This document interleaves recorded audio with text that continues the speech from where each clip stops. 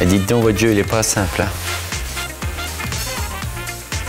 Maïs Je sais pas. Oh ben, bien joué. Si j'avais su? Le sarrasin, mais oui.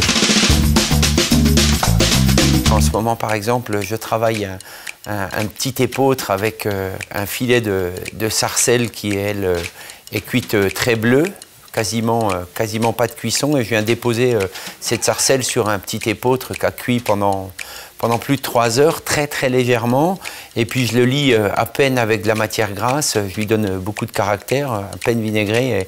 Et, je crois que les saveurs de ce petit épeautre sont juste exceptionnelles.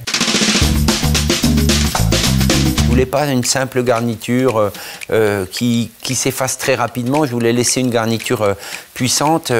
et donc, je crois que le petit épeautre est venu naturellement. ces parfums un peu torréfiés, un peu, un peu foin brûlé, comme ça, qu'on retrouve dans le petit épeautre, était le goût parfait pour aller avec un, gibier. J'aime bien les torréfier. J'aime bien les amener dans une poêle et puis les mettre dans une vinaigrette, par exemple, n'importe laquelle. Vous en prenez plusieurs, vous les mettez. Mais quand elles sont trop torréfiées et qu'elles redonnent l'amertume, alors là, ça devient désagréable.